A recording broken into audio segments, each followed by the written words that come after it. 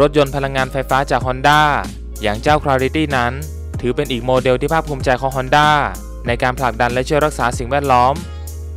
ซึ่งมีบริการในรูปแบบเช่าซื้อในอเมริกา แต่แล้ว Honda Clarity EV ก็ถูกยกเลิกจากตลาด ในสหรัฐอเมริกาเป็นที่เรียบร้อย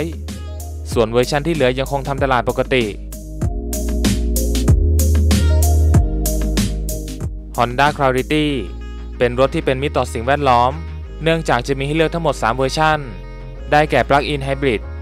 Hydrogen และ Electric ซึ่งเวอร์ชันพลังงานไฟฟ้า 100%ถูกเปิดตัวในงาน New York Auto Show ในปี 2017 ที่ผ่านมา จนถึงวันนี้ก็มีอายุประมาณ 3 ปี รายงานยอดขาย Honda Clarity ทำได้ 11,654 คันในปีที่แล้ว ถ้าคิดส่วนแบ่งในตลาดรถยนต์ไฟฟ้าจะอยู่ที่ 4.8% แต่ตัวเลขยอดขายดังกล่าวนั้นคือทั้ง 3 เวอร์ชันรวมกัน เท่ากับว่าเวอร์ชันพลังงานไฟฟ้า EV จะมียอดน้อยกว่านั้นอย่างแน่นอน บวกกับปัจจัยในการทำตลาดเวอร์ชัน EV มีบริการเฉพาะรัฐแคลิฟอร์เนีย และโอเรกอน ในส่วนเวอร์ชันไฮโดรเจน จะมีขายในแคลิฟอร์เนียเท่านั้น ซึ่งยอดขายไม่น่าจะมากเท่าไหร่นัก เนื่องจากมีข้อจำกัดในการเติมพลังงาน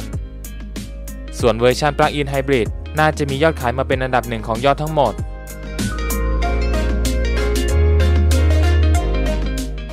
นอกจากนี้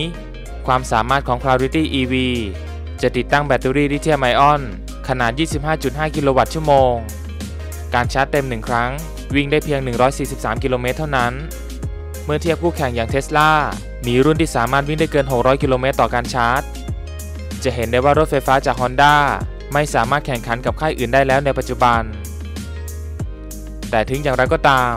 Honda ออกมาเปิดเผย ถึงการพัฒนารถไฟฟ้ารุ่นใหม่ ที่จะแนะนำลงสู่ตลาดอเมริกาในอีกไม่กี่ปีข้างหน้านี้